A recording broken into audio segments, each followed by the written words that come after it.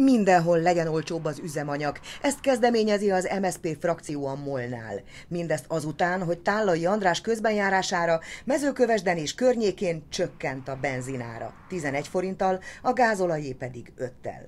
Tette úgy, hogy mindeközben az ország más részein 16 forinttal drágult a benzin literenként. Az MSZP frakció most levélben fordult a Nemzeti Olajvállalathoz. Azt szeretnék elérni, hogy ne csak mezőkövesden, hanem a többi választókerületben is csökkenjenek az árak az október 31-i állapothoz képest. A politikai vezetőket is megosztotta a NAV elnök közbenjárása. Míg a miniszterelnök gratulált neki, addig Szél Bernadett, az LMP miniszterelnök jelöltje, hivatali visszaillés büntettének megalapozott gyanúja miatt jelenti fel az államtitkárt. Itt ül velem szemben Tóth Bertalan, a Szocialista Párt frakció vezetője. Jó reggelt kívánok! Jó reggelt kívánok! Hadd kezdjem azzal, amit ultimátumként emleget ma az egész sajtó Magyarországon, Molnár Gyulával kapcsolatban, a budapesti pártanács felszólításával kapcsolatban. Közös miniszterelnök jelölt és közös ellenzéki lista elfogadására kérte az MSZP elnökségét nagyon határozottan a szocialisták budapesti pártanácsa. Kerestük Konhalmi Ágnes budapesti elnököt egyelőre nem értük el, nem tudtuk ezzel kapcsolatban megszólítani. A zoom.hu birtokába kerültek ezek a pártanácsi határozatok, amelyek azt kérik, hogy a decemberi kongresszuson 9-én ne csak a listát és az egyéni jelölteket jelentsék be, ami még változhat, hanem a miniszterelnök jelölt személyét is. Tarjányi Péter portáljáról van szó, aki az önök fővárosi erős emberével, Molnár Zsoltal kiváló kapcsolatokat ápol. Ön egyetérte azokkal, akik azt mondják, hogy ez ultimátum és lázadás? Abszolút nem értek egyet és nem is Molnár Gyulának írták ezt a határozatot, vagy ezt a levelet, hanem az elnökségnek, amelynek én is tagja vagyok, tehát vehetném magamra is, de... Akár önnel kapcsolatban is megkérdezhetném, hogy ön körül is fogy a levegő? Nem, nem fogy senki körül a levegő. Van egy kongresszusi határozata a Magyar Szocialista Pártnak még május 27-éről, amikor ugyan még miniszterelnököt állítottunk, de ennek a határozatnak volt egy olyan része, hogy a Magyar Szocialista Párt közös jelölteket, közös miniszterelnök jelöltet és közös listát állítson a 2018-as választásokra. Ehhez Tehát tulajdonképpen is, minimum egy. teljesen egyértelmű, de ugye ez a kongresszusi határozat érvényben van, ez a pártanácsi határozat tulajdonképpen ezt erősíti meg, nyilván az elnöksége szerint fog eljárni, és a kongresszus is ez szerint fog lezajlani. Egy részével kapcsolatban biztosan változott a helyzet a miniszterelnök jelölt személyével kapcsolatban. Hát sok mindenben változott, mert ugye nagyon sokat beszélünk a formáról, de kicsit kevesebbet a tartalomról. Nézzük a Magyar, Igen, tehát a Magyar Szocialista Párt azt mondja, hogy itt szóba került az, hogy ugye a Magyar Nemzetnek ez a címlapja, hogy éppen kétharmad is lett a Fidesznek, miközben az ellenzéki szavazók, illetve a kormányváltást akaró szavazó, kormánywáltást akaró szavazók többségben vannak a választói körben. De ők Mi nem az, a szocialista párt szavazói. Ez egyértelmű, nagyon sok minden más pártnak is, illetve a bizonytalanok illetve között senkinek. vannak, illetve senkinek. Mi azt szeretnénk, hogy ezt egybe gyúrjuk.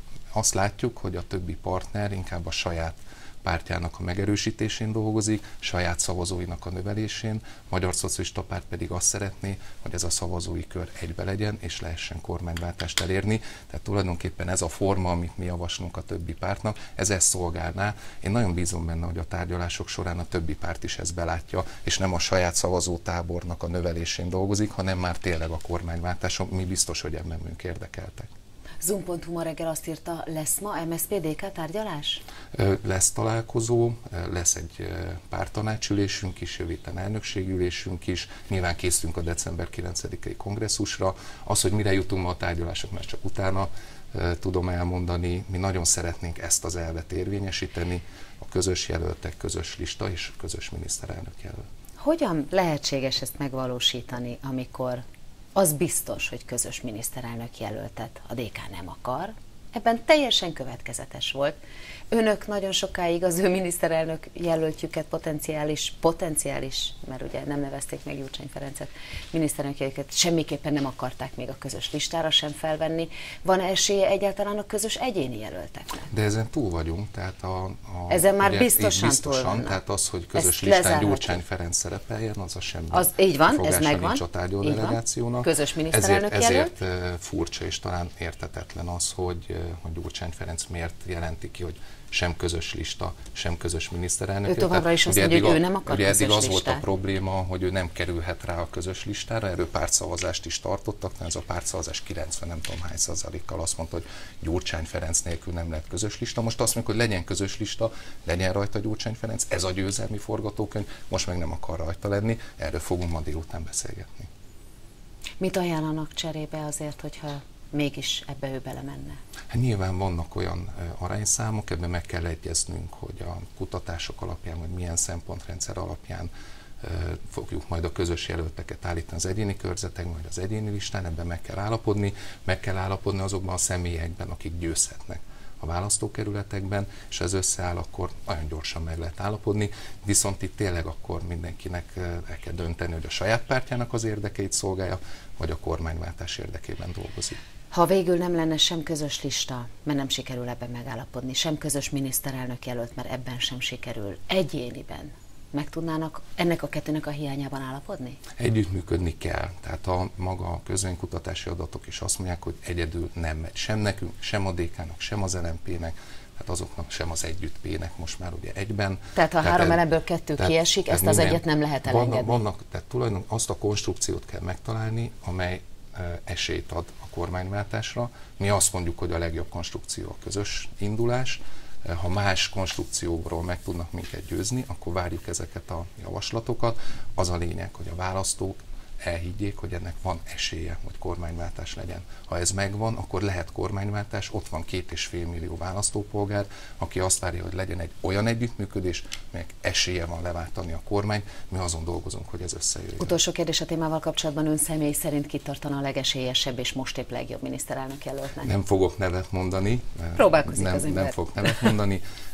Nyilván, van egyébként ötlete, nyilván, csak nem mondja meg? Nézd, nyilván van egy olyan jelölt, akiről beszélgetünk, Balázs Péterről van szó, ő egyértelműen rögzítette azt, hogy nem egy, nem két pártnak szeretne jelöltje lenni, ha egyáltalán elvállalná ezt, hanem ő is azt szeretné látni, hogy megvan-e az a konstrukció, amely esélye lehet kormányt váltani, ő ezt segíteni fogja. Beszéljünk kicsit a MOL-ról, Kárász Robival ma reggel a MOL kapcsán ö, ö, kicsit ö, vitatkoztunk.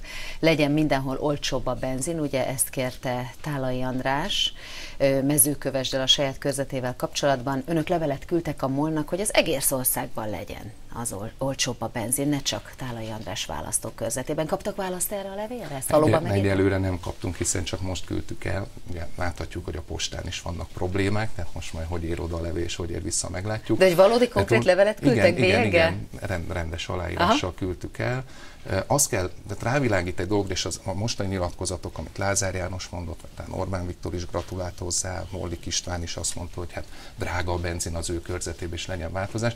Tehát egészen elképesztő, hogy az a kormányzat tartja drágának ma Magyarországon az üzemanyagot, aki megemelte a jövedéki adót, és aki miatt a forint ilyen gyenge, ezért olyan drága ma Magyarországon az üzemanyag, hiszen sok-sok évvel ezelőtt is mondjuk 60 dollár volt a az olajárfolyama, mint most, vagy az olajnak a hordonkénti ára, akkor körülbelül 100 forinttal olcsóbb volt Magyarországon a benzin és a gázolaj. Most 100 forinttal drágább, hiszen ezt adóba fizetjük be. Tehát Tálai Andrásnak, mint navelnöknek, mint ezért felelős államtitknak semmi más nem kéne tenni, nem csökkenteni kéne az uniós minimumra a jövedéki adót, és azonnal olcsóbbak lennének a, az üzemanyagok Magyarországon. De ha ez a módszer van, és ez működik, akkor mi nagyon szeretnénk, hogy Magyarországon minden választókerületben csökkenjen az üzemanyag. Mit szól egyébként ehhez a módszerhez? Meg részben vicce az, vagy komolyan gondolják, hogy egy ilyenfajta politikai, politikusi, konkrét politikusi nyomásgyakorlással akkor egy körzet helyett az egész országban így kéne elérni azt, hogy mondjuk a benzinár olcsóbb legyen. Ugye Tálai András,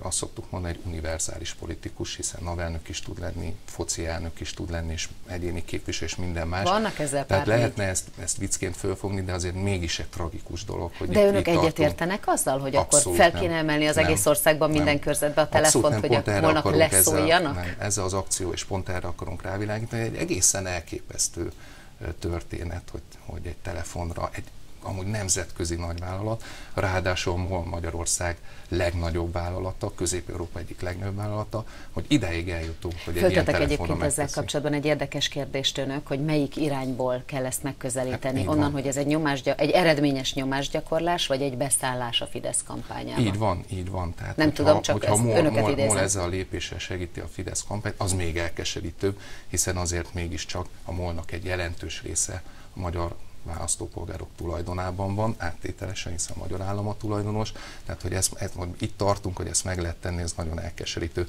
na ezért is kell kormányváltás 2018-ban. Még nagyon röviden hadd kérdezzem arról, amit a Szent Korona Rádió 2011-es adásában úgymond zsidózó, gyűlöletkeltő beszédet adó Apáti Istvánnal kapcsolatban derült ki. A Jobbik önök szerint ugyanaz a radikális párt, ami volt cukiság kampány ide vagy oda. Van a Gábor, ugyanúgy, mint most Mir Mirkocki szóvivő úr tulajdonképpen úgy nyilatkoznak, hogy a párt soha nem volt az, aminek mondják, rasszista vagy antiszemita, vagy korábban, vagy akár ma is. Hát akkor biztos a választópolgárok és én is amnéziában szenvedhetünk, hogyha ők ezt azt gondolják, hogy el fogjuk hinni, hiszen azért emlékszünk még Vona Gáborra, amikor Gárda mellénybe jelent meg a parlamentbe, emlékszünk azokra a mondatokra, amikor cigánybűnözésről beszéltek, és épp a cigány kisebbséget kritizálták, vagy hát én nem is mondom, hogy milyen szavakat használtak, vagy akár a zsidó származású magyar állampolgárok, vagy zsidó közösségekre milyen kijelentéseket tettek. Ezek ugyanazok a személyek, most éppen vizslát simogatnak, de és rendkívül módon amnézia próbál, vagy oda, de azért erre emlékszünk. Választópolgárokkal kapcsolatban egyelőre a Jobbik jobban áll a kutatások szerint, mint önök a Magyar Szocialista Párt. a választópolgárok. Én nem, én nem látom azt az óriási nagy áttörést, amit a Jobbik elért volna. Óriási áttörést az, hogy, nem mutathatok így van, ki most az, csak. hogy a, a baloldali pártok külön vannak, de egybe veszünk a baloldali közösség és a baloldali szavazók sokkal többen vannak, mint a Jobbikhoz szavazók. Tehát ez, én nem látom, hogy olyan működőképes lenne, az emberek nem felejtenek. Köszönöm szépen, hogy a rendelkezésre. Köszönöm szépen.